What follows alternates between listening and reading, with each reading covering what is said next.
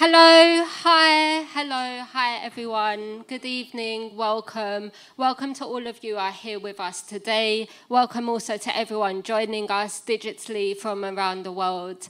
Um, in true kind of pre post COVID spirit, this is a bit of a hybrid event. So it's part digital, part live. Patrisse was supposed to join us today, um, but because of COVID flight restrictions out of our control, she couldn't. However, we've made it happen. Patrisse will be joining us via um, stream. My name is Crystal Mahey-Morgan. I'm from Own It, a storytelling lifestyle brand. Um, we're a book publishers, a literary film and TV agency, and we're lucky enough to be publishing Patrisse's latest book. Um, it's the follow up to Sunday Times bestseller, When They Call You a Terrorist. This book, An Abolitionist Handbook, is really thinking about what next. What happens after the world is where it is today? A lot of you might know Patrisse as co-founder of Black Lives Matter, um, former um, executive director of the Global Network. Um, Patrisse actually has been an activist, an organizer, someone who's championed humanity and tried to make the world a better place for long before 2020, long before Black Lives Matter started. It's something that's ingrained in her that she's been doing for the last 20 plus years. And an abolitionist handbook is a really exciting moment in terms of where we are and in terms of her as a thinker. It's about how to be a modern day abolitionist and not just what happens when you abolish things that aren't working, but how that opens up opportunities and possibilities for us to reimagine the world in a way where it's more equal and it's inclusive of everyone, obviously including black lives, which at the moment sometimes the world makes us feel doesn't matter. Um, so I'm really excited. I'm going to hand over. We've got an amazing person leading us in the conversation today, Richie Brave broadcaster, presenter, most known for being on 1Xtra um, for 1Xtra Talk Show, which is a weekly topical show looking at Black lives nationwide, the community, and the different experiences within them. So, thank you so much for joining us. We're going to hear from Patrisse soon, but please give a warm welcome to Richie Brave. Thank you. I was trying not to trip over the stairs. You know, it goes, that wouldn't be a good start, would it? How are we doing with Patrisse? Is she ready for us? Patrisse! How are you doing? Hi, team. I'm okay. I'm happy to be here, and I'm sorry not to be a person. I this would have been my first trip out of the country since the pandemic, and there were tons of things I didn't know you needed. Um, so I'm grateful I get to be in conversation with y'all virtually, but I will be there tomorrow morning and excited to see folks over the next couple days. Patrisse, do you mind if I give you a second intro so people know what time it is and they know who you are? yes, is that is it the very long bio that, that you were given? There is, yeah. This I'm I'm trying to let people know who's in the room. You know what I mean? Trying to trying to get this on and popping today. Um, so Patrisse Cullors, New York Times best-selling author, artist, educator, and abolitionist, co-founder and former executive director of the Black Lives Matter Global Network Foundation. She's launching a groundbreaking second book, an abolitionist handbook, 12 Steps to Changing Yourself and the World, published by Own It. Now, Patrisse has been on the front lines of abolitionist organizing for 20 years, and you definitely don't look old enough to be doing that. Um, since she began the Black Lives Matter movement in 2013, it has expanded into a global foundation supporting black led movements in the US, UK, and Canada, and has been nominated for the 2021 Nobel Peace Prize. Her first book, a memoir, When They Call You a Terrorist, was published in 2018, and Time 100 also named Patrisse as one of the most influential, most influential people in 2020. Now, how about that for an intro? yeah, it's very humbling. I was, Thank you, Thank you. We were waiting for that. I was definitely waiting for that. And what I do want to say as well is we will have an opportunity to do questions and answers a bit later on. So welcome to you inside the room. Welcome to you at home. But people haven't come here to hear me talk, Patrisse. They've come here to hear you talk. So I just want to dive into the first question. And I guess it's about abolition more generally. And I feel like this conversation is so sensationalized in the media. There are lots of people throwing their own perspective on what it actually is and skewing the reality. So, abolition in its most simplistic terms, talk to me about it and what it is. Sure. Um, abolition is simply the getting rid of the police, the prison state, surveillance, detention centers, court systems. That is the very simple definition of abolition. Uh, but it's important for people to understand that it's more than just that. Um, obviously, as part of my work and many of us as abolitionists, our work has been to challenge the role of police, to challenge the role of incarceration, to challenge the role of the court systems. And um, inside of that, I also believe that we have deeply inherited uh, the ways in which policing and jailing has impacted us personally and interpersonally. So we live in a punishment system. We live in a system that relies on vengeance as a way to hold people accountable. But that's actually not the abolitionist way. And so I also believe that abolition is how we take care of each other, how we are in relationship to one another. And that just brings me on to another follow on question, actually, because something that stood out in the book for me, and I hear when a lot of people talk about abolition, we talk about process and we talk about systems, but you described abolition as love. And it was one of the, the words you used around abolition. You spoke about love. Can you talk to me a bit about that? Because it's so unusual to hear it described in that way. You know, it's funny that you asked that because I feel like as a younger abolitionist, as a younger artist, activist, I would read about like some of my favorites, like Che Guevara and Fidel Castro and, you know, um, Angela Davis and um, James Baldwin. And I would love all of their like really fiery work, right? Like all their firework. But when they started talking about love, I'd be like, what's that have to do with what we're doing? like I really felt like that. I was like, okay, I guess. Like maybe they're just saying that because they're like trying to you know, relate to whiteness and are like they're trying to be more palatable. But honestly, as I've gotten older, I'm going to be 39 this year, and I've been in this work since I was 16 years old.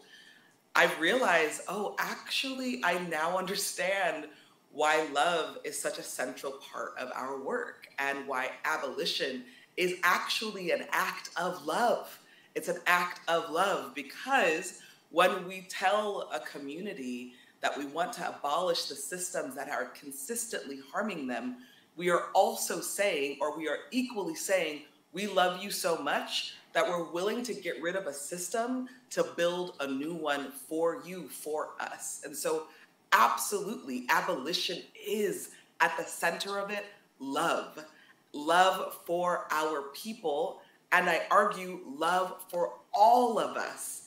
Because if we're living in a system that continuously cages human beings, that creates harm and violence against human beings, none of us are free. And we could see that as you know the whole world is witnessing this current war in Ukraine, right? And there's a lot of feelings about wait a second, y'all, there's a war right now happening in many other countries where people are blacker and browner. Why aren't we worried about them? We have we could have this longer conversation about we are all we will all be touched by this carceral system if we don't stop it. We will all be touched by it. So it is, it's going to take us collectively to stop imprisonment, to stop the war, to stop all the ways in which the state continues to violate our human and civil rights.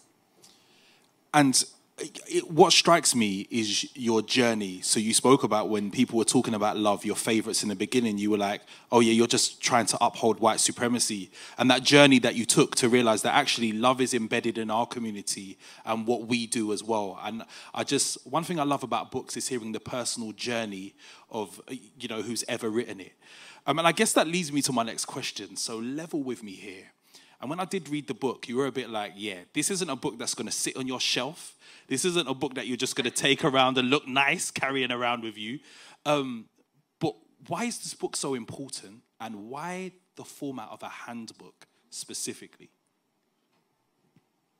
I wanted to offer something tangible. I wanted to offer um, our folks something that they can use on a daily basis, practices that we can do, use. So, for example, I'm at the airport yesterday on my way to London, thinking like it's gonna be so easy. And I get to the ticket counter, they're asking for things. I show something, they're like, that's not it, you need something else. And I was like, literally, I'm not lying, I'm not gassing myself at all. I literally was like, okay, Patrisse Cullors, you can be reactive right now and berate the tellers, or you can be responsive and think through how you want to deal with this. And I was like, I can't actually tell folks to do something and not practice it myself. And so I think, you know, part of this book also was about being held accountable. Like, how do I, how am I holding myself accountable for these things that I so deeply believe in? Um, and then lastly, you know, this book during this time has everything to do with, I believe, the role of social media and misinformation and disinformation and how quickly it is able to proliferate. And we, all of us, are believe in it because at this point, social media is the truth, you know? And I really believe these tenants are tenants and steps to ask us to slow down to take our time with information because the role of white supremacy is to confuse us, to tear us apart, and to not have us united.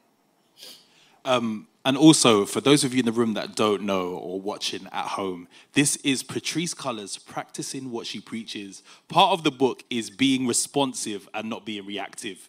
So we love that you're living by it because some people just write books and they're like, "It's out there now. Like, I've done, I've done my piece. I ain't living by it." But this is active practicing, and we love to see it. Um, Patrisse, I, I want to talk about something serious and it's probably close to my heart as a person and what I do and being so community focused. And you speak of getting free and being free. So, you know, us getting free in the book as a concept. And I feel like it's a subject matter that is very close to a lot of people's hearts, right? When we talk about the freeness of our community, the freeness of our hearts, the freeness of blackness. So, for you and the, the context in the book, talk to me about what getting free exactly is. Sure. Um, you know, there's personal freedom and then there's collective freedom. Uh, but I but I want to argue that we can't actually be personally free without the collective being free, um, not fully at least. Part of the work of abolition is asking us to free ourselves from the ways in which white supremacy and patriarchy, capitalism, able, ableism, uh, homophobia, transphobia has impacted our lives. And in that freedom truly becomes our ability to live full, healthy, dignified lives. Uh, I think about how often I've interacted with law enforcement, how often I've had to visit loved ones in jails, um, the times I've been arrested for protesting on behalf of Black people's freedom, and how unfree I felt, how unsatisfied I felt. And I think, especially for Black people around the globe, especially those of us who live in Western countries, um, we know so much about unfreedom. And so the work of abolition is about a road towards freedom, it's a journey. And I think, obviously, a lot about our ancestors who were in literal chattel slavery, who were in chains, who were um, commodity and what they had to do to get themselves physically free and the journey that we're on to really build a free world, uh, a free world not in the way that the US talks about it, or the UK talks about it, or you know Canada talks about it, or any other Western country. But I'm talking about a free world in which human beings are able to move uh, through countries without borders, uh, where human beings are free from living under war and terror or constant co- colonization. I'm talking about freedom that looks like being able to uh, live full lives without having right wing media attack us on a daily basis. There is a freedom in which we don't know about yet, but we can fight for and we can uh, push for because it's in that freedom, it's in those freedom dreams um, that so many of our ancestors created a pathway for us. And so all I'm doing, all we're doing, is creating a pathway for the next generation. Patrisse, that's so beautifully said. Um, and I'm thinking about freedom, and you spoke about the, the dreaming of our ancestors, and there's a dreaming that we do collectively in this day and age. And if we move from dreams into conscious and current thought, what do you think needs to change in our thinking to move towards collective and individual freedom? You know, I forget. I think maybe it's chapter eight, maybe the chapter on imagination. um, that is, you know, imagination. I, the whole reason why I chose to pick a chapter, you know, focus on imagination is because that's the first place that um, white supremacy, patriarchy, colonization, capitalism, that's the first place it steals our ability to imagine something different. It steals our imagination. It makes us believe that the world we're currently live it, living in is the world that's always been. And it makes us believe that if we try to choose something different, say getting rid of the police, getting rid of jails, um, that we are going to be doomed, that it's going to be a purge. And so, you know, I always like imagine, like, if we didn't have the police and, and prisons and jails and court systems, you know, what would happen? What would happen to us? And, you know, truly what would happen for black people is we would be living we'd be able to jog without being worried about getting shot. We'd be able to sleep in our beds full night sleep. We'd be able to go grocery shopping and not worrying about someone trying to you know tell us that we were trying to rob the grocery store. I don't know if you all just saw that ryan coogler you know famous effing director of black panther was um, called 911 was called on him after he was trying to take money out of his own bank account, and the police were called because they said that he was. They thought the teller thought he was a bank robber. If the police were not in our lives, our existence would be so much fuller. And so, no, it would not be the purge. And so, our job is to imagine something different, imagine a new world for us right now, but also for our future, um, and to imagine a world where there are more possibilities. The current world that we live in is limited. It is deeply limited. It's limited by the legal structure, it's limited by the court systems, it's limited by the police state. So the world that we're imagining is something bigger and freer. He must have been a very calm bank robber as well, you know, like um so you've touched on something there and I'm just I'm scared that someone's gonna run in and call us snowflakes. But I'm gonna ask you anyway. Marxist snowflakes. Um, but you spoke about defunding the police, right? And it's such a it's such a tenuous subject, and it's something that people run to whenever someone speaks about abolition. And I think they really misrepresent the conversation. So I'm so happy to be able to have that with you today, and it's central to a lot of your ideology. So, can you talk to me about what defunding the police is and what it looks like? Sure. Um, and I want to say that the amazing work of the police, and I say that with all honesty, they are the biggest, most powerful like PR machine. You know, we had 20 million people in the streets in 2020, and folks were all for defunding the police. And in the in true police fashion, they were able to, you know, take that conversation and then use it and now use different harm and violence that happens you know across the world to talk about why the defund police movement is dumb and you know not right. And um, and so we also should be recognizing like how did we go two years later not even from like everybody saying defund the police to now the police machine the police pr machine being able to say actually that was wrong. And you know we have in our country, the president's yelling, screaming for the funding of the police. That is all a part of a PR PR coordinated um, campaign to because we were winning because we were being effective in that. So it's our job to stay strong, and it's our job to be make defund and abolition more irresistible, more exciting, more palatable. So the defund the police movement is truly a movement that is about getting rid of the ways in which law enforcement is um, used at every single given opportunity in our society, whether that's uh, being used as mental health providers, in quotes, um, you know, domestic violence uh, crisis managers, in quotes, dealing with the homeless, you know.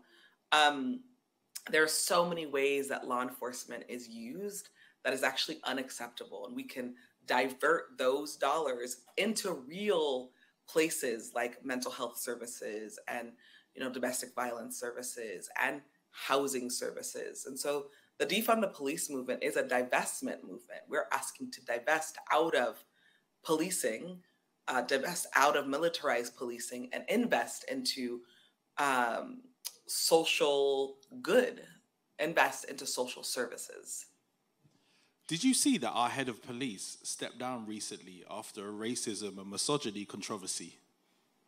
The same woman that said that institutional racism didn't exist, you know. you I just thought I'd have a little That's laugh with you there because you know we're feeling it inside the room today, and I'm just wondering, like, when you look at that, when you saw that coming out of the UK, what did you think? And given all that you've said, um, why do you think people in the UK are so fearful of the conversation? You know, I've been coming to the UK now to talk about the work of anti-blackness, uh, the work of you know challenging law law enforcement since 2015, and I will say that y'all's media is some of the most whitest, some of the most um, conservative, and also um, some of the most like amnesia media. Like I can't tell you how many times I've sat with white media anchors who off you know, offline would say to me, Isn't it ridiculous how, you know, Black folks in the UK think it's as bad as America? And I would say, Well, actually, no, you know, I've seen y'all's deaths in custody and I've seen how, you know, Black folks are treated in the immigration system here. I've seen the stop and frisk that happens in your country. I've seen how young Black people are treated and they're sort of like jaw dropped. And I think that what's been really powerful about having a global movement that challenges anti Black racism is that each government in each country can no longer deny the ways in which anti Black racism plays out inside of their country. And while the UK wants to pretend, you know, the UK white folks want to pretend to be the nice white people, they want to pretend to be the white people that aren't doing the terrible things that black that white people in America are doing yeah, your white people might not be as off the chain as our white people, but they're still privileged. there's still uh, there's still real privilege and will, real white racism that happens inside of the UK. And so I think that you know when my one of my first trips I remember people asking, like, how is this movement happening in the States? Like, you know, is there any way we can model stuff? And, you know, one of the things I said is like, we have to be bold and courageous. We have to be we have to be willing to shut shit down. We have to be willing to call out the racism as it's happening in real time. We have to be willing to have courageous conversations in public, in private, and challenge the ways in which, you know, the US becomes sort of the marker. Well, if we're not doing what the US is doing, then we're not terrible and we're not racist. But that is, first of all, the US is the worst example. So like that is just not like you shouldn't be, you know, we shouldn't be comparing um, the US to other Western countries. Like the reality is most of the West is racist. And we have to deal with the ways in which racism is embedded inside of the culture, inside of the institutions. And we have to be unafraid to challenge it and show up for it and change it. I love I love that you touched on that and just like the, the global moving of thought rather than the comparison of this person has it worse or these people have it worse. I remember when the say their name hashtag came out and I saw uh, um, like a thread from Brazil and it was black people who had been killed by the police and all those people were under yeah. the age of 16. The youngest one was like six That's years right. old. So it's like yes. when we get into this, you've got it worse and we've got it worse. The conversation's never collective. We don't go anywhere because we're just fighting each other rather than fighting the system that attempts to oppress us and does a very good job of it That's quite exactly often. Right. Um, you have multiple themes inside your book. Um, and I'm really keen to explore with you, and we're going to do questions and answers in about 10 minutes, um, around identity, right? And I don't mean to sound like one of those Twitter people, because people say sort of, I'm a Twitter person. But, you know, black people aren't a monolith. You know, people like to say that. But there's a real truth in that, right? There are varying identities that we navigate at one time. And um, you write about sexuality and gender. You write about queerness. You write about trans identity in your book. Um, and I'm just wondering the part they play in this discussion and this moving forwards. Because we spoke about fighting and maybe fighting amongst ourselves. And I just wanted you to dive in to that theme a little bit more and flesh it out for me. Absolutely. I mean, you know, part of the work of, of Black people is to do our work inside of our own home, which is to you know, challenge the ways in which we are patriarchal, sexist, homophobic, transphobic. Um, and we all witnessed the the Dave Chappelle debacle, right? And like at at the heart of what was happening, I believe for for you know our our community, the queer and trans community, was like, hey, you know, there has been so much uh, vitriol inside our own communities, inside our own home like how do we actually show up for each other how do we create an environment where we are we are truly holding each other's differences not as these things to um, shit on but our differences as a way to be in better relationship and connection with and i think you know the work that we've done over the last you know decades specifically to call out transphobia specifically in our community i think is critical and we have to keep doing that work uh, I think a lot about. I just posted today about you know what's happening stateside inside of um, Florida and inside of Texas, where they're passing all these anti-trans, anti-gay bills, you know, in real time. And, and I grew up in a time where that you know there wasn't gay marriage, and I grew up in a time when sodomy laws still existed, and I grew up in a time where I was being harassed on buses as I held my girlfriend's hand and harassed in parks as I you know, um, kissed my girlfriend and like all the ways in which I, I believed we'd done so much work to create a, a healthy, happier, safer world for our folks. And in the middle of a right wing back, backlash, not just here in the States, it's a global right wing backlash that we're witnessing. And that's when they, you know, that's when folks start to go after the folks at the margins. And it's our work to undo the ways in which we believe and some of that right wing shit to, you know, say, actually, that's not us. That's actually white supremacy. You know, queerness and transness, that is not a product of white supremacy. It's actually anti queerness, anti transness that is a product of white supremacy. We didn't we didn't do the sexuality or gender conversation until whiteness and Christianness came over. And so it's really important that we know our history and that we differentiate the ways in which we are being pulled apart on purpose. Amen.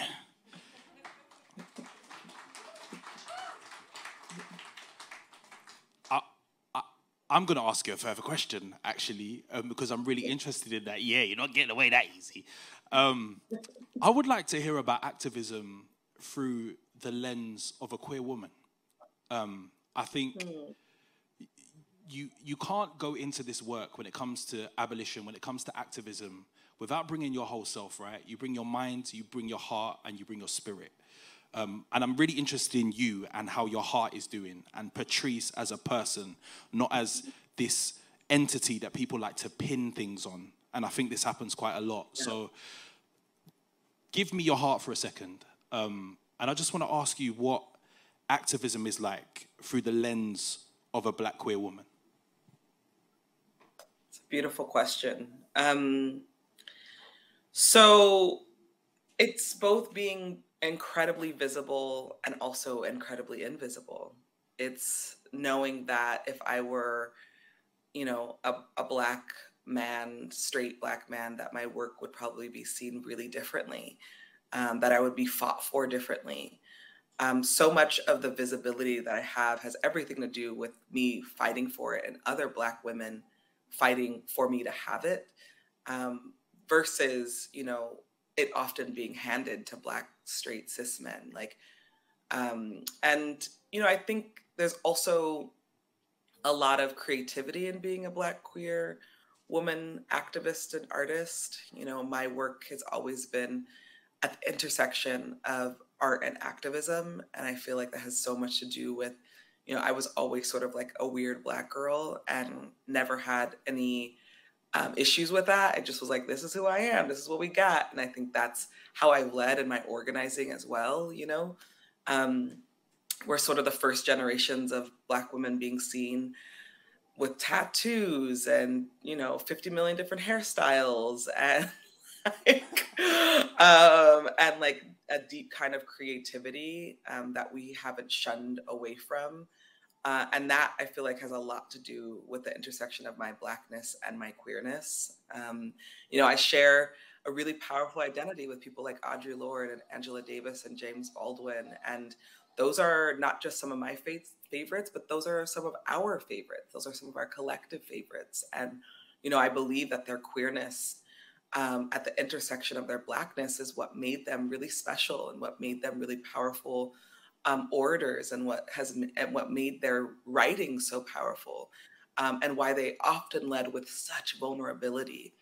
Because even though you know in in my vulnerability there have been times where i've been shot down. It's also in my vulnerability where i've found a significant amount of power. I can only be who i am can't i can't be anybody else i can't be anything else and when i re- realize that and when i recognize that it, it provides more safety for me, more power for me. And I think, you know, as I am existing as who I am, I, I speak to so many young Black queer women, young Black women who are just grateful, grateful to have, you know, representation that shows them that they don't have to, you know, change their hair, they don't have to change their skin, they don't have to change their size because they see other people existing exactly as who they are. I keep, I'm going to keep saying amen, you know, because you're very much touching on everything right now. Um, and another thing that I love that you've touched on is being, you know, people say, bring your full self to work, diversity and inclusion. But actually, you know that for, this is who I am here, and I'm going to come to where I am with this, and you're going to have to take it. Um, I think it's so important because what really stood out to me around your book was abolition isn't just about those policing systems and those governing systems in society, those official statutory organizations, but it's the things that cage us as free birds. It's how we conform to white supremacy. It's how we keep our hair a particular way, speak in a particular way, bring certain, you know, parts of ourselves and leave certain parts behind. Um, and I think a lot of people are going to pick up your book and think, yeah, this makes sense to me. I want to go out there. And you've touched on some really difficult points and there are probably going to be people in this room right now and people watching at home wanting to know this. And when your heart's heavy, when you've done a lot and maybe it isn't in the right space and you are judged on some of the things that you mentioned, how do you keep going on? How do you keep pushing forward? How do you maintain that momentum? Um, in many ways, one of which is having an active therapist. I'm a big fan of therapy. Um, and I know that, you know, especially for Black folks, especially for first generation, you know, Black immigrants, that's not always what we were raised with, but it has like transformed my life. And I'm, you know, big, big mental health advocate and, and really push our community to um, tend to our mental health you know, it's very important. Um, but also, I love my people and I love my community and I love my family and I like to spend a lot of time with them and I like to um, hold space for us and um, and hold space for myself. Like being in community is really important for me, um, and being with other people um, that I love and trust and that see me and I see them is deeply important to me. And then the last thing is I'm a mom, and many people don't know that I, I, don't post my child on social, so people don't know. You know, I don't actively have that in the conversation, but like being a mother has really been a profound gift. Um, and that is not to say that that is the truth for all women, but for me it is. Um, it's been a profound gift to be a mother, and I'm so grateful for my child, who is really one of the most hilarious people that I know, and giving and generous and inquisitive and that it just it just it's so grounding for me That's so beautiful, Patrisse. Thank you for sharing that with us, because um, I know that's really personal for you. I- I'm gonna bring a final question because we've got four minutes to questions and answers. So I hope you're cooking up. Um, but um, I guess you know one of my final questions is: you know, on this road, sometimes we start out with people next to us, right, who we think are our friends or comrades, and the resistance starts and the contention starts, or maybe we get it wrong, or maybe they get it wrong and fall down. How do you deal with forgiveness on the road to abolition? Because I think people are very absolute. You're either this or you're this, and if you're this, then you're going to be that forever. Can you talk to me about how forgiveness played a part in your journey? Man, I'm still working that that step. Um, that was the hardest chapter for me to write um, because I felt like, do I really believe in this? but I do. I believe in forgiveness, not from the sort of turn the other cheek forgiveness or, you know, don't feel my feelings and and only focus on the other for forgiveness. But I, what I realized, especially in this work, work is hard and it's it's a grind and it's it can be really painful. What I realize is that forgiving people is also forgiving me. Um, I can um, I can't continue to do the work if I'm not forgiving myself for the mistakes I've made, the harm I've caused. Um, and if other people are doing those things and I'm not forgiving them, I'm also holding on to something about myself. And so forgiveness really becomes something that's, yes, about the other person, but it's also about my own leadership and my own um, healing. Thank you. And my final question before I jump into the Q&A. I mean, people want to bring everyone on this journey, right? And I feel like we speak to people in different ways. Children have different challenges, so young people have different challenges. And the elders, I mean, all they've had to put up with have definitely had some challenges as well. So, can you talk to me how you bring young people on this journey with you and how you bring elder people on this journey with you as well? And is the language different? You know, um, I think the way you bring young people on this journey is you're honest with them. Um, when I was a young person and being trained as a community organizer, the best way in my the the the thing that I cherished most in my training was when other you know older organizers were being honest with me about what they saw, what they see, the, the investment that they gave in me. I was deeply invested. I was deeply poured into, and it really mattered as a young person, especially when you grow up black and poor and you're deeply neglected by the state. You're neglected by institutions, you're neglected by teachers often, and you know, healthcare systems. And when someone comes to you and is like, I want to train you to help you take back what was taken from you, that goes a long way. And so, you know, we don't have the same set of training systems because social media has taken over so much of our social systems. But I really do think I value meeting with young people, talking to them. It's like the best time for me when I'm able to train young folks and also build reciprocal relationships. I'm friends and family with most of the young people I mentored um, as I grew up as a young person mentoring other young people. Um, and I see the work that they're doing, and I know that the work that they're doing has a lot to do with what I poured into them. And um, so I'm very, you know, I think part of our work as adults now is to pour into a new generation um, and, and help them and support them in their evolution. Thank you, Patrisse. If you bear with me one second, I'm going to say goodbye to everybody watching from home as we're about to dive into the Q&A. So for everyone who joined us today at home, thank you for joining and goodbye. but not.